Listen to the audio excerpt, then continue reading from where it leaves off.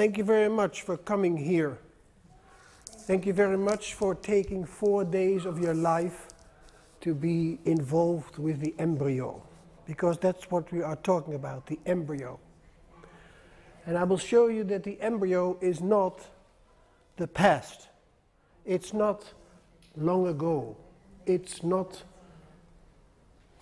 far away.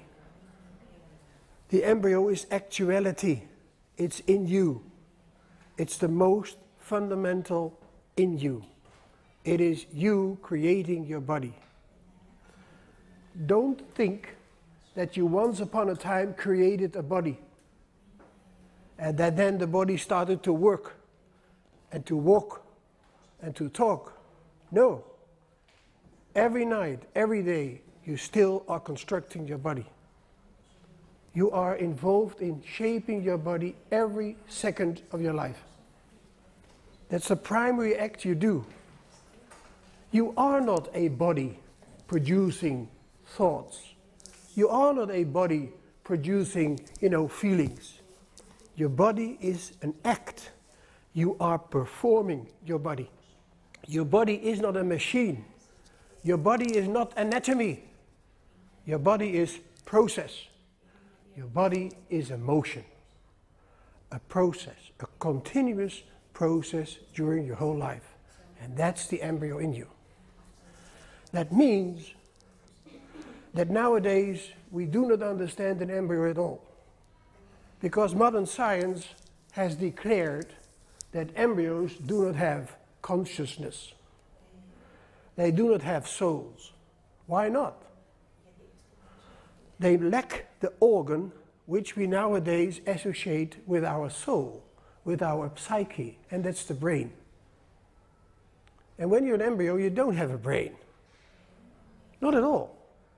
It takes seven months before you get something that looks like a functioning brain.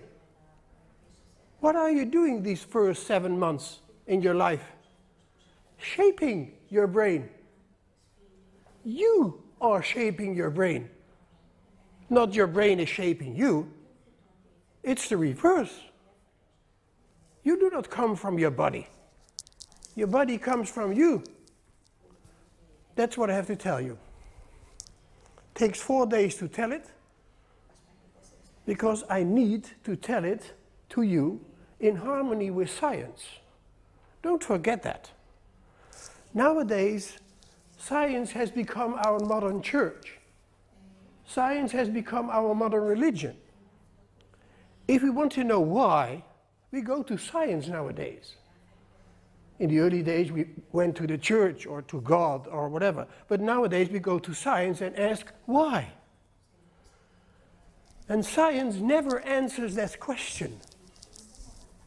Because the important question we all have is why? Why am I here? Why do we exist? Where do we come from? Where are we going to? That are the why questions. And science is never talking about knowing why. Science is always talking about knowing how. They tell us about causes. Cause, causes. You understand me?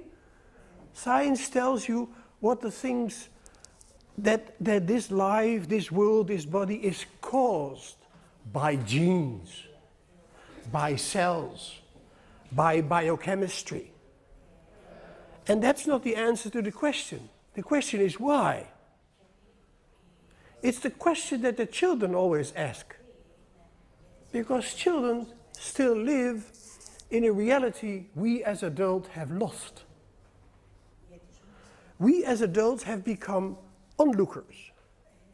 We are all the whole day we look upon things. We are onlookers. We are scientists. We think about things. Children don't know how to do that yet. Children experience. They feel. And then they can ask the famous